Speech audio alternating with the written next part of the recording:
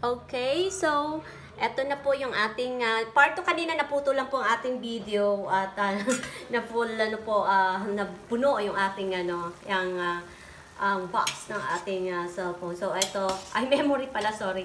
Ito na po siya. Is kamote yan ha, tandaan natin, kamote, uh, chicken, tapos ilagyan ko lang po itong tira-tirang okra namin. Uh, half chicken lang po yan talaga. Uh, dalawa lang naman kami ni EG. So, um, pinalambot ko yung kamote kasi maganda yung malambot ang kamote para yung sabaw ma, mag ano po mag uh, umano rin uh, mag, ma, ma-absorb mapunta sa sabaw yung ano ng kamote kasi masarap din po yun di ba? Kaya ganon simple lang healthy naman. Napaka-practical sa panahon natin ngayon.